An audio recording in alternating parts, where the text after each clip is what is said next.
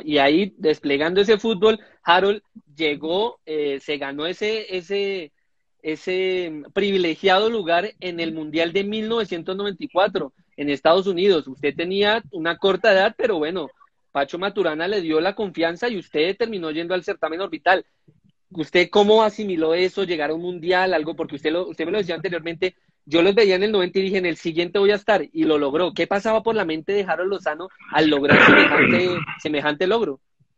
Sí, bueno, tú te acuerdas que en esa época eh, la Selección Colombia hizo muchos partidos de preparación y ahí era donde uno se gana el puesto, los partidos de preparación. Y yo en los partidos de preparación la tenía que dar toda para que ellos se fijaran y ponerlos a dudar. Lo que decimos nosotros en el ámbito del fútbol, no poner a dudar a los técnicos. Yo creo que, eh, y yo en un partido contra Francia en Martinica, y eh, era uno de los últimos partidos antes de ir a, antes de dar la lista de los convocados para la selección para el mundial. Y en ese partido yo hice, ganamos 3-1 a Francia, me acuerdo ese día, y yo hice un gran partido. Eh, y yo creo que no, lo, no, no, no dejen duda que me llamaran. Me acuerdo que estaba entre Alex y García, que era ya una persona de paisa de la, de la, de la esfera. Eso. Entonces ellos estaban con la duda, ¿quién llevamos?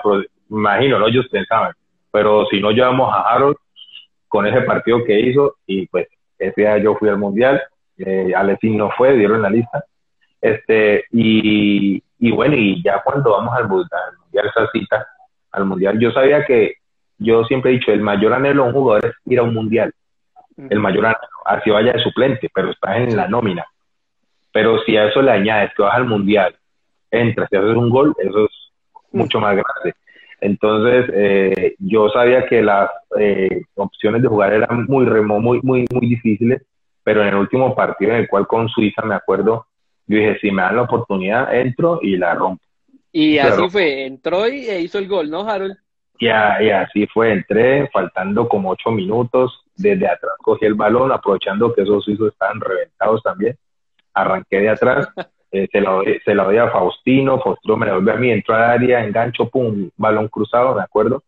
Y yo hubiese querido llamar, con la verdad que este gol hubiese significado la, la clasificación para Colombia, ¿sí? Ya nosotros estamos eliminados, no fue así, pero bueno, igualmente queda en, mi retina, en la de mucha gente y pues hice parte de la historia del fútbol colombiano en hacer un gol como tal en un mundial porque bueno, no todo el mundo, hace, no todo futbolista puede hacer un gol en un mundial y más en el poco tiempo que del 94, porque digamos que lo, que usted decía, bueno, fui al mundial, no fui titular fijo en el 94, pero fui y también dejé mi huella.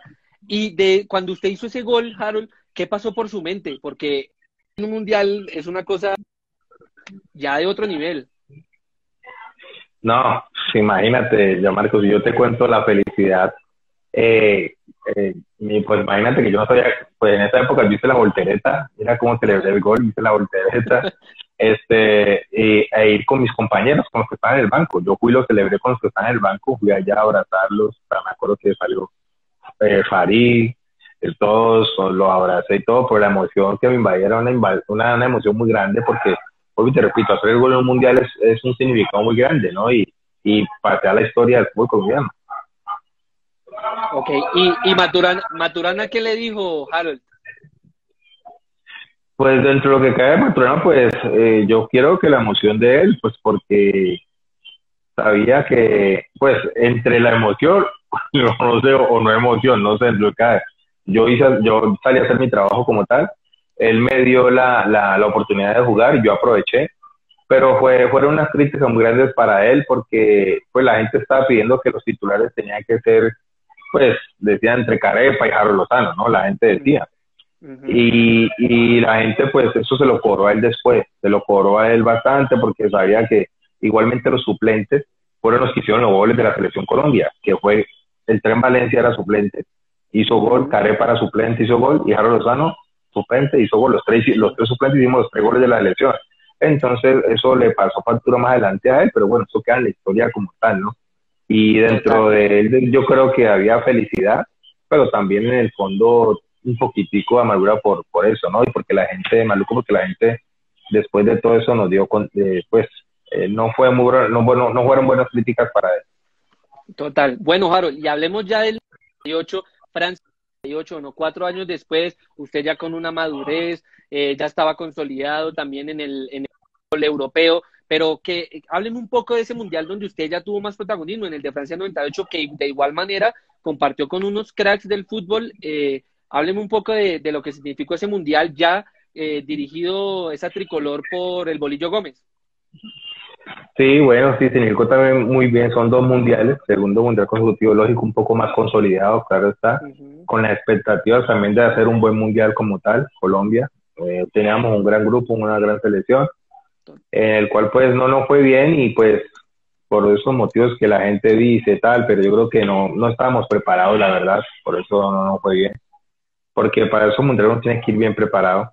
Eh, de acá a nivel de país también, a nivel de país y eso a veces todo influye como tal. Pero igualmente la ilusión era muy grande por parte de nosotros, queríamos hacer las cosas bien, queríamos dejar una buena impresión, aunque nos eliminaron en, el primer, en la primera ronda, pero bueno, igualmente todo eso sumó para mi carrera como tal, para mi experiencia. Y yo me quedo en ese mundial, me quedo con la satisfacción de que yo estaba en Valladolid y muchos jugadores, compañeros de Valladolid fueron a ver el mundial por verme a mí y muchos españoles llevaron la bandera de Colombia para ir a verme a mí. Me acuerdo, yo veía la bandera de Colombia un día y eran compañeros de fútbol mío y Eso significó mucho en ese sentido para mí. Vea, qué bueno saber eso. Y bueno, lastimosamente, como, como usted lo dice, Harold, no, no se terminó haciendo, entre comillas, una buena presentación, pero bueno, eh, le queda en su, en su retina que compartió cancha con, con todos esos cracks. Bueno, aquí no se al derrama, ya que fue bueno, además que en las eliminatorias ya han jugado, pero ¿cómo fue ya compartir con, con el pibe ya tantos minutos de juego, con, con todas estas estrellas del fútbol de nuestro país?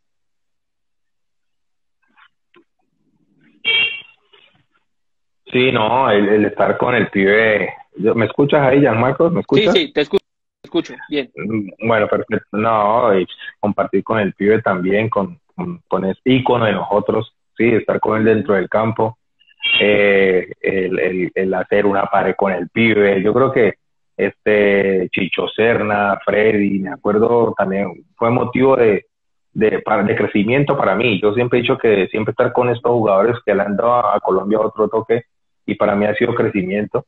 Eh, el, el, saber de que, por ejemplo, el pibe, su profesionalismo como tal, eso aprendí mucho del pibe. Era el primero en todo, por eso esa carrera tan larga del pibe. Entonces, eh, el temperamento que tenía el pibe, uno tenía que jugar a la perfección porque tú debes estar con el pibe ahí con fe y rincón el temperamento. Entonces, era sumarme a esa, a esa clase de jugadores y no desentonar. Y eso sirvió para mi carrera. La verdad, eso es, después de todo eso sirvió mucho para mi carrera porque sabía de que eh, la equivocación eh, era un mínimo error que tenía que tener yo. Entonces, eso hizo a que mi carrera fuera pues así en, ese tono, ¿no? Y ser correcto en, en, ese aspecto dentro de la cancha. Bueno, Harold, y antes de cerrar este tema de, del 98, esta es una fotaza, bueno, creo que no, no la puedo mostrar bien porque nos tapa la cara, bueno, ahí vamos a ponerla abajo, con David Beckham. ¿Cómo fue enfrentar a esa Inglaterra? Bueno, lastimosamente se pierde, pero obviamente jugadores de la talla de David Beckham que, deslumbran a cualquiera si uno los está enfrentando, ¿no? Sí, claro, un jugador que tenía, pues, en el Manchester United tenía un recorrido importante, grande, este, un jugador de una categoría impresionante, eh, de una pegada eh, que no tenía algo que, yo creo que no había alguien le pegaba como Beckham, esa técnica que tenía. De hecho, ese nos hizo un gol de tiro libre, eh, hermoso. Y parece que como que si, si supiéramos que ese gol iba a entrar, no sé, porque pues, yo cuando la, manera de la pegada se veía que ese balón iba para adentro pero sí, en enfrentarlos a todos ellos también eso lo hace crecer a uno como futbolista eh, dentro del campo, ¿no? Y, eso fue lo que pasó, enfrentar a David Beckham, a, otros jugadores, por ejemplo a Haji en el Mundial del 94. Entonces yo creo que eso, estar con la élite del fútbol, yo creo que eso hace parte de que uno también mejore como futbolista y eso fue lo que hizo que mi carrera creciera como tal, ¿no? Para no desentonar. ¿Y le costó marcarlo, Harold? Pues sabes que yo en mi momento yo era un jugador, pues, que si me tocaba meter pataditas metía, pero casi no, pero siempre era muy limpio en mi juego. Y sí, siempre tuvimos que a veces eh, cruzarnos en muchas pasajes del partido y, y tratar de hacer el trabajo que venía haciendo.